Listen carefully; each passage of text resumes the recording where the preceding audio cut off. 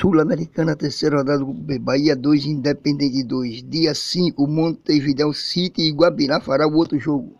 Veja a classificação do Grupo B. Independente 7 pontos, Bahia 5 pontos, Montevideo City 1 ponto e Guabirá tem 0 pontos. Vejam os gols de Bahia 2, Independente 2, em Pituaçu.